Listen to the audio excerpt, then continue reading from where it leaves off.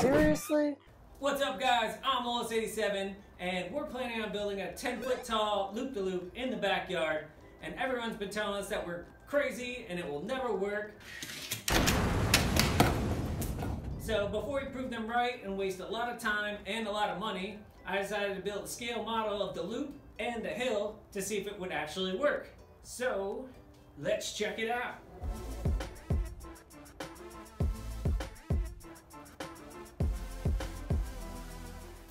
So to scale my model, I went from feet to inches to make it easy. So rather than 10 feet, this is only 10 inches. And because they don't make mini screws to fit in the, this small wood, I'm just gonna glue everything together with the hot glue gun. So first up, I'm gonna show you how I built the super loop.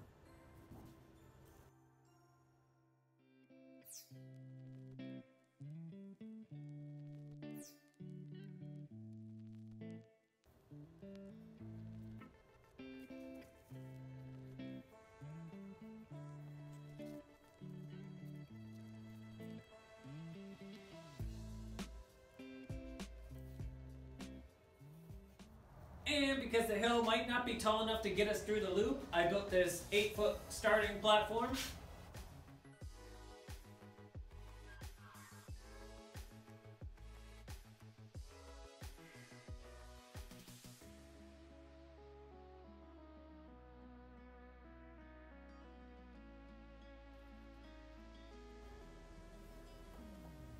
Just for fun, and because I had some extra wood, I decided to build this quarter pipe and small little platform.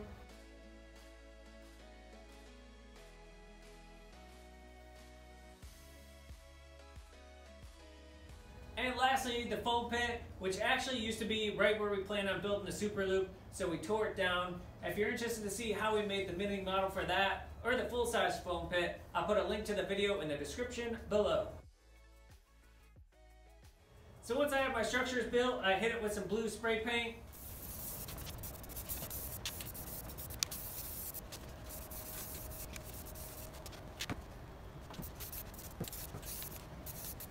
And lastly, I had to build the hill. So I went out back and got some dimensions from the hill out back.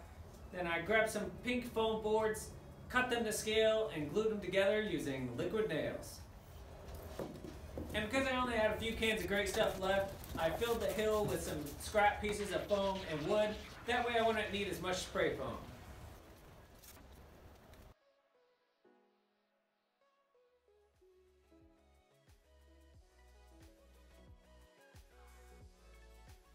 So my camera died during the next part and I didn't get the time lapse of it, but this was all bumpy, so I carved it all down, sanded it so I had a nice flat surface, and then I lined the track with some modeling clay that gets nice and hard when it dries. And then I gave it a fresh paint job using a mixture of Kilz and plaster, which gives it this nice hard surface.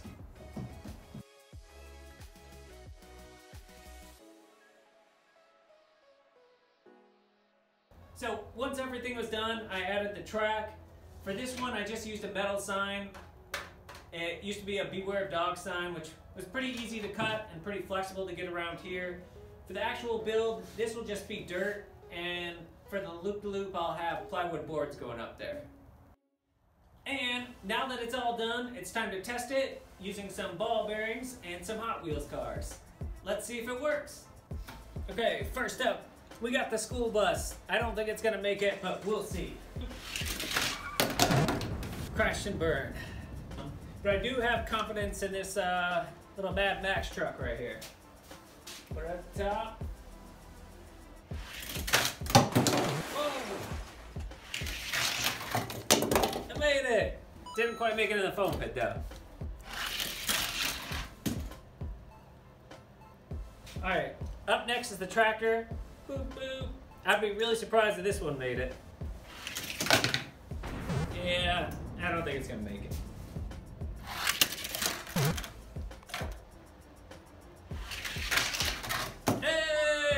And now we'll try the ball bearings. First we'll try the little one, and then we'll try the big one.